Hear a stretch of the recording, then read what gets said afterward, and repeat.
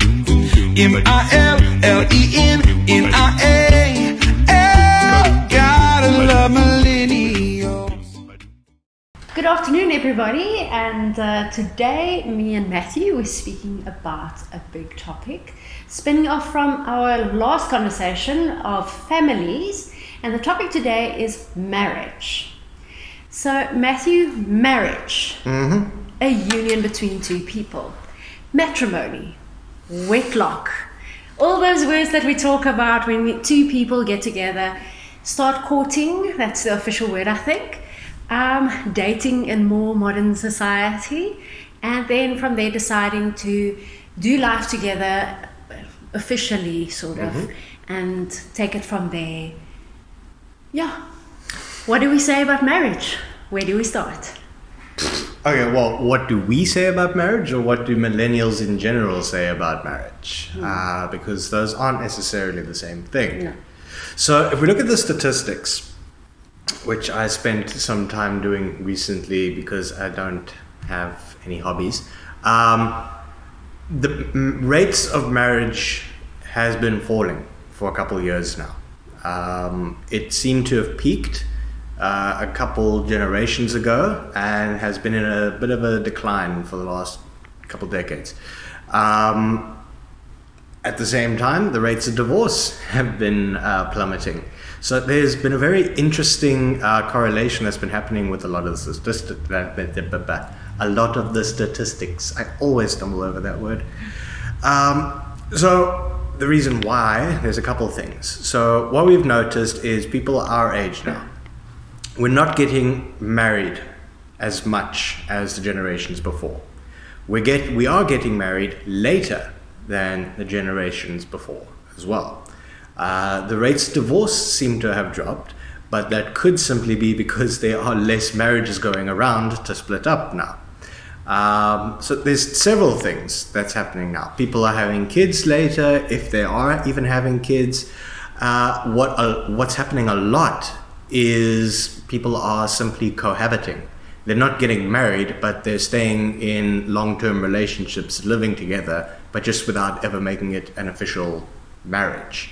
So that's been increasing quite drastically as well. What we're also getting now, which we didn't get before, is same sex marriage. That's also becoming a thing. So there's several things that are happening at the same time here that we need to all take into account. Um, millennials, as we stand, why are we getting married later? Or why are we not getting married at all? What, what do you say? Yes, I think that is the big question surrounding, if you look at the statistics, like you said, is um, obviously if there's a correlation between less divorce and less marriage, um, or weddings taking place rather, uh, and the, then the obvious question is why are people not getting married? But you see people living together all the time, um, and couples have children even though they're not married. The why question, I think, is for me, in my opinion, when people look at marriages, um, young people looking at current marriages, older people, generations that has, has gone and done it all, got married, got divorced, maybe got married again, maybe even got divorced again, saw the whole thing unravel, and then decided, this is not for me. I don't want to go through this. It's a lot of paperwork in the first place to get your IDs and this, and then officiating a wedding. It costs so much to have a wedding, and then maybe a couple of years later, we decide we can't do this. Um, the relationship is not working. Now, all of that money has been spent mm-hmm. on a wedding, mm-hmm. and you've put family and friends through this whole motion, and now you're splitting up. Or you started a family, maybe, and um, what happens to that family now, now that you're splitting up? So, all of those questions come up before the time, mm. and people are saying, well, let's give this a trial run. Let's live together, mm. see what happens, and if this works, if, if we can cohabit cohabit. Cohabit. cohabit that's the right word. Um, then uh, and, and it works and we see okay i like this quirkiness i can deal with this i can't deal with it. Then let's get married. Right. Well, yeah, again, looking at the statistics, the divorce rate seemed to peak in the 90s, early 90s, which is when um, our oldest millennials were um, like you know just entering into puberty, just entering into uh, adolescence, and our youngest uh, youngest millennials were just then being born. So if that was when the highest rate of divorce was basically, that's when it would have had the most impact on children. Uh, on us as millennials. So we would have seen the most divorce. I mean, I remember at the time, half of my classroom came from divorced parents. Uh, I was incredibly lucky to have come from a whole home. I was one of the, one of a few. So yeah, it's we would have all seen divorce. Uh, marriage would have been stamped by divorce. And besides that, we're watching the world become increasingly secular as well. And marriage, even today, even with an increased secular world, marriage is still predominantly performed, or wedding ceremonies are still predominantly performed in a church.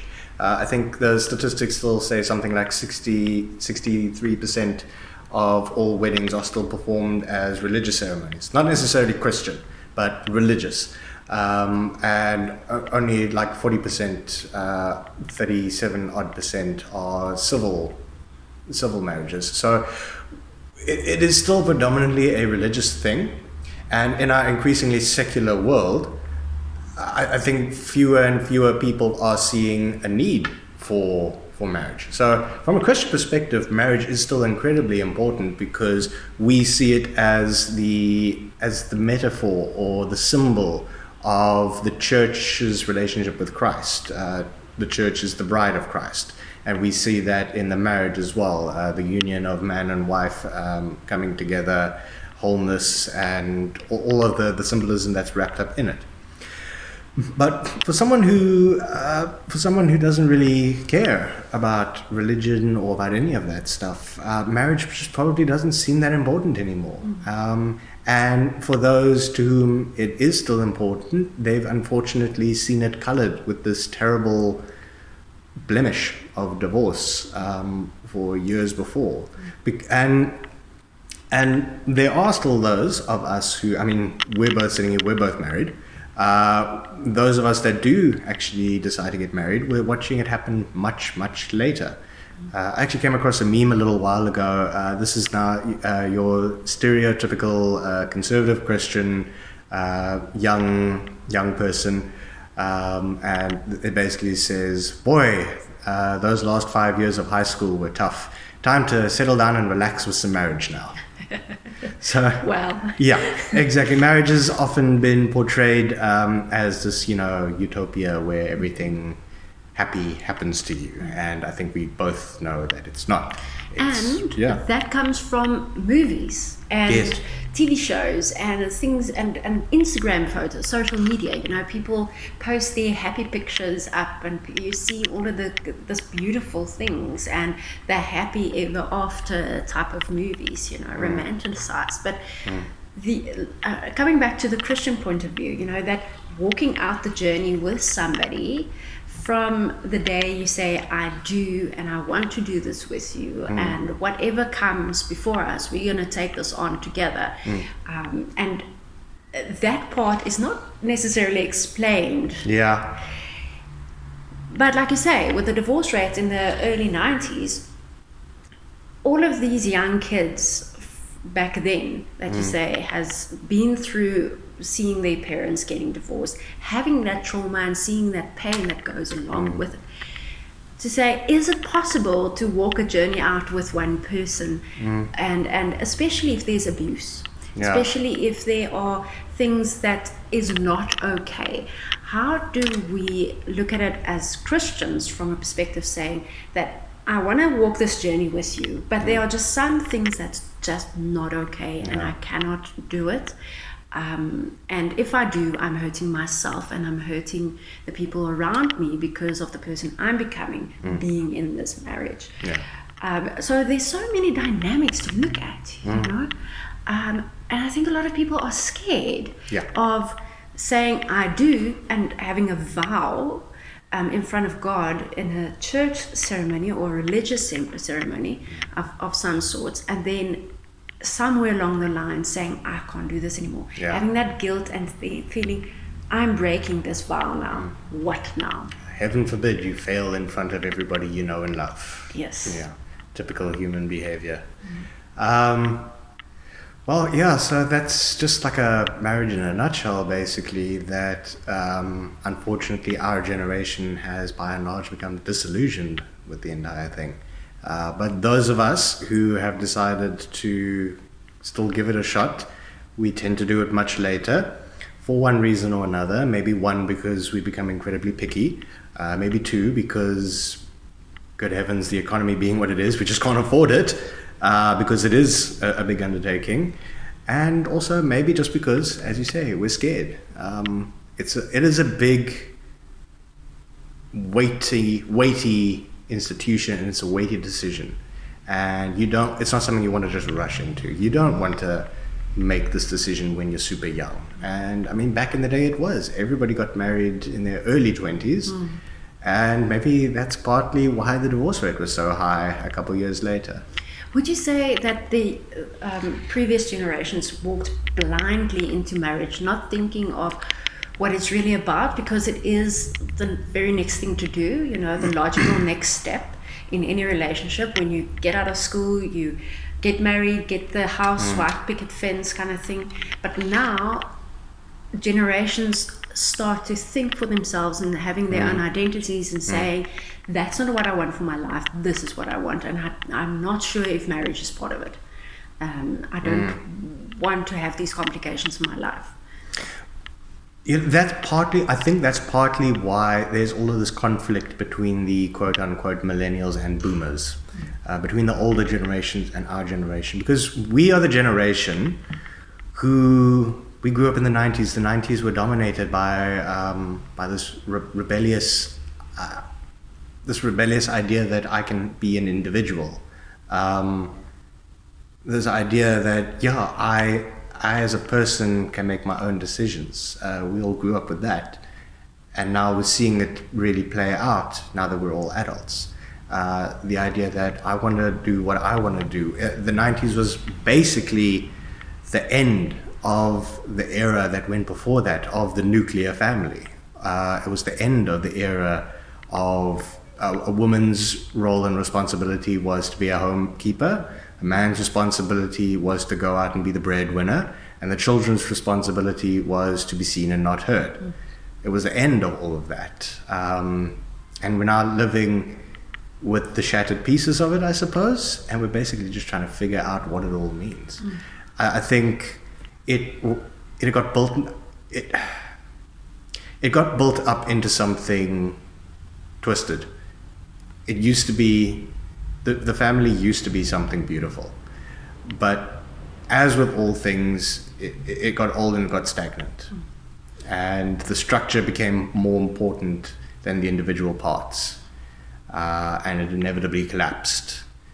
So now we're basically trying to figure that out. And now, now that's why we have all of these movements, feminism and um, equal rights parties and Black Lives Matters and everything that we have today. Um, it's being built, and it is being built. It's it's not us just swimming around in the broken shards. It's something that's being built on the foundations of what used to be there.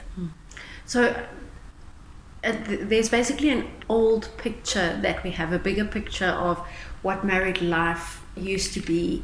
Um, it's a more simplistic Yeah. life, or that's how we see it.